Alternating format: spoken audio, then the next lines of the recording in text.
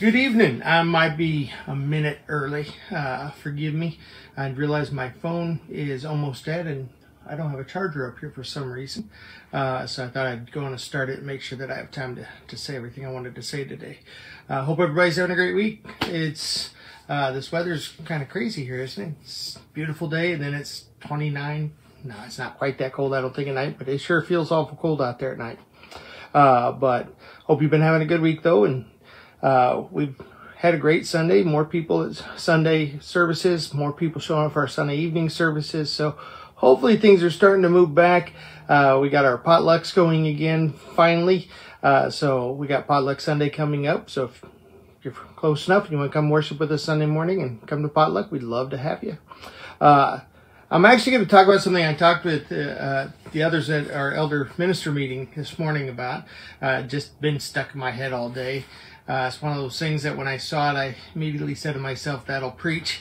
Uh, and that's what I told the elders too. So I decided to preach it. Uh, I had saw this interesting thing. I promise this isn't, isn't going to be a political lesson tonight.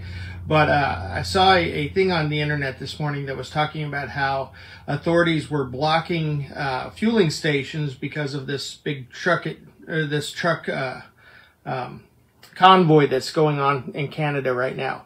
And so they're trying to block it so they couldn't refuel. So it said hundreds of people have come out to support the truckers carrying gas cans.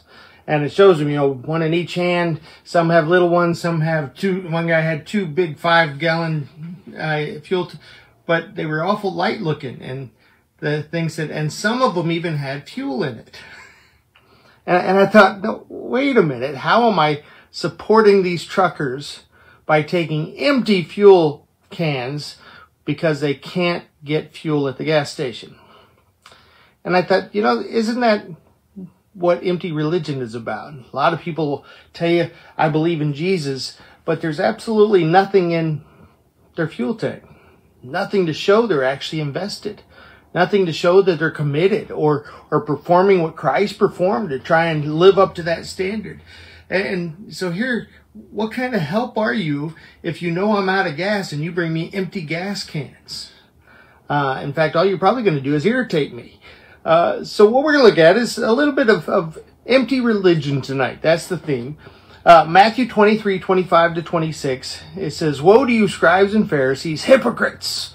For you cleanse the outside of the cup and dish, but inside they are full of extortion and self-indulgence.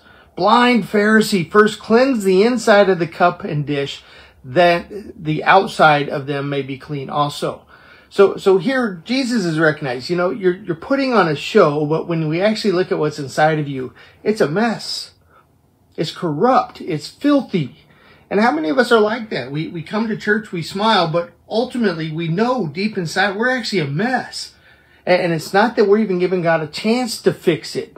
We just come to church because we're supposed to. But when it comes to actually participating and adding fuel to that spiritual fire, um, our tanks are empty. Uh, Matthew 17, or pardon me, 15 verses 7 through 8, it says, Hypocrites, well did Isaiah prophesy about you, saying, These people draw near to me with their mouth and honor me with their lips, but their heart is far from me. So that was the first scripture I thought about with these tanks, was you're showing up and, and you're, you're acting like you're on my side. You're saying that you're on my side, but your gas can is empty. How are you on my side? You're not helping this. And that's the thing, the, the two five gallon buckets at this one, I've carried five gallon buckets full of water before for campfires and all of this, you know, put them out. And even my size, you know, if you're carrying two five gallon buckets of water, his were empty. But he sure looked good with these brand new red bottles and the label still on them and, you know, showing his devotion. Uh, or was he? Or maybe just wanted to be on TV. I don't know. But that's the question, right? What is the difference between real religion, true religion, people that are practicing their faith, and those that are just empty?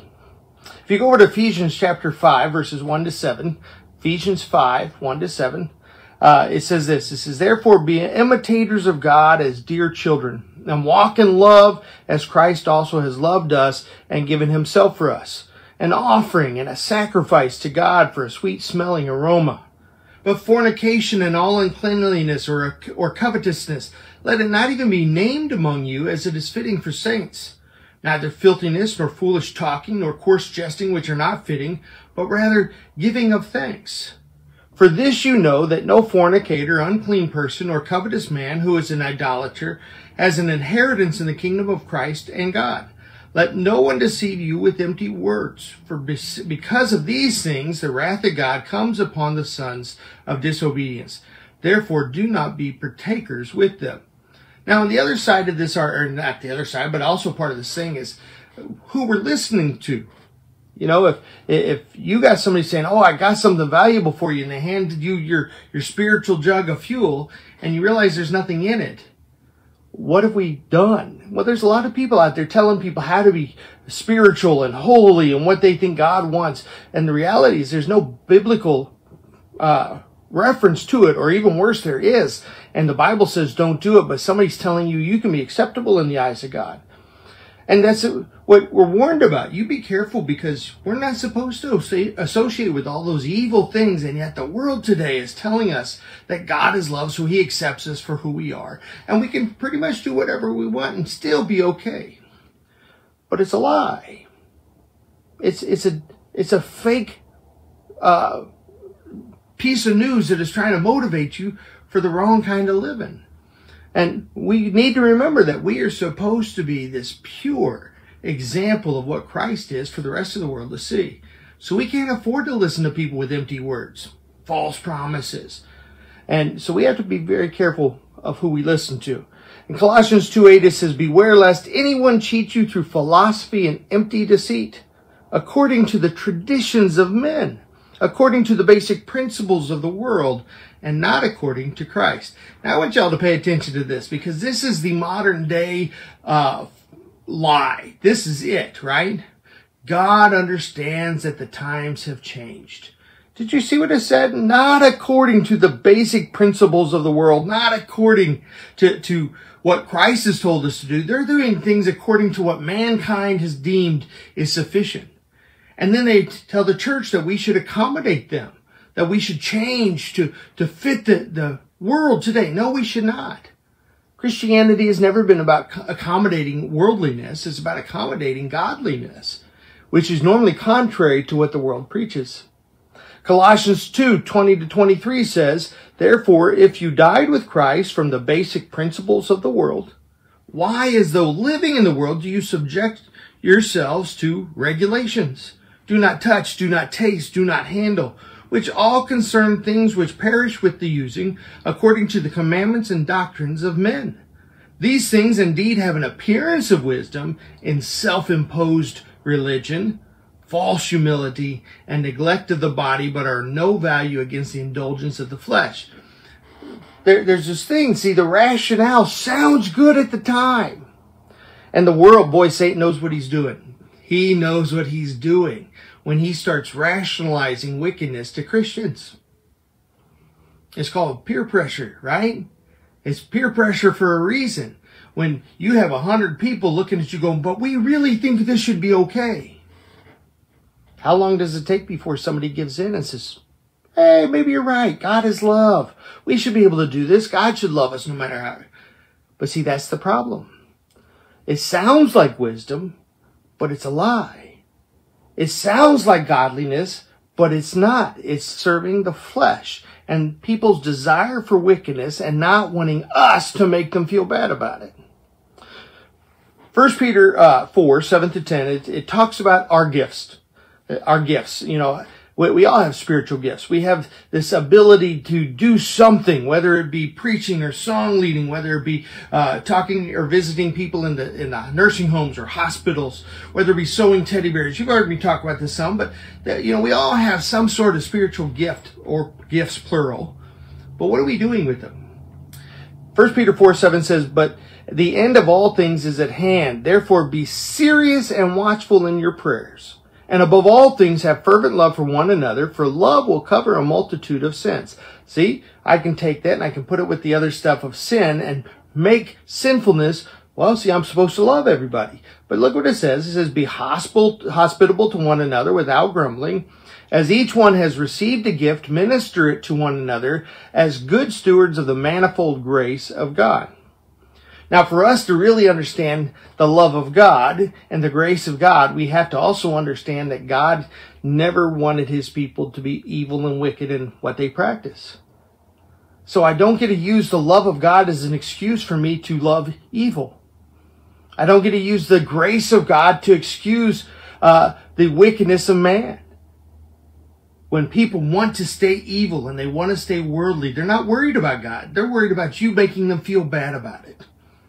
And that's why they push and push the way they do. Go over to 1 Corinthians chapter 12. 1 Corinthians 12, 27 to 31. It says, Now you are the body of Christ and members individually. And God has appointed these in the church first apostles, second prophets, third teachers. After that, miracles and gifts of healing, helps, administrations, varieties of tongues. Are all apostles? Are all prophets? Are all teachers? Are all workers of miracles? Do all have gifts of healing? Do all speak with tongues? Do all interpret? But earnestly desire the best gifts. And yet I show you a more excellent way. See, Paul talked about spiritual gifts, and he has this, in, and you'll see two chapters from here. He will actually discuss uh, speaking in tongues in chapter 14, but we're in chapter 12. And the lead in from chapter 12 that goes to chapter 13, you should know what 1 Corinthians 13 is about, right? This is what he says right after that. And I yet I show you a more perfect or more excellent way. Though I speak with the tongues of men and of angels, but have not love, I have become a sounding brass or a clanging cymbal. And though I have the gift of prophecy and understand all mysteries and all knowledge, and though I have all faith so that I can move mountains, but have not love, I am nothing. And though I bestow all my goods to feed the poor, and though I give my body to be burned, but have not love, it profits me nothing. Love suffers long and is kind. Love does not envy. Love does not parade itself. It is not puffed up. Does not behave rudely. Does not seek its own. It is not provoked. Think, oh, sorry, lost my place. Is not provoked. Thinks no evil does not rejoice in iniquity, but rejoices in the truth. It bears all things, believes all things, hopes all things, endures all things. And I love this part. Love never fails. But what, whether there are prophecies, they will fail. Whether there are tongues, they will cease. Whether there is knowledge, it will vanish away. Now, we're not going to get into a spiritual gift discussion tonight, but what I do want you to see is that love is the answer to Christianity. Interpreting what love is, is the answer to true Christianity. Because if I want to show my love for somebody as a Christian, then that love is defined by how I can draw you closer to God. Period. It's not about making you happy. It's not about making you feel good about yourself. It's not about telling you that all of your dreams will come true uh, because God wants you to be blessed.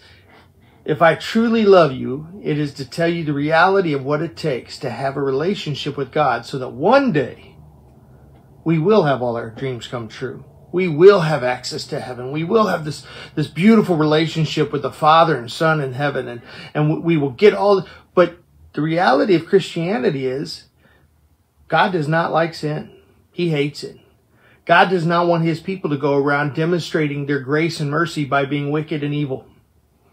God does not justify sin, and he doesn't want us doing that.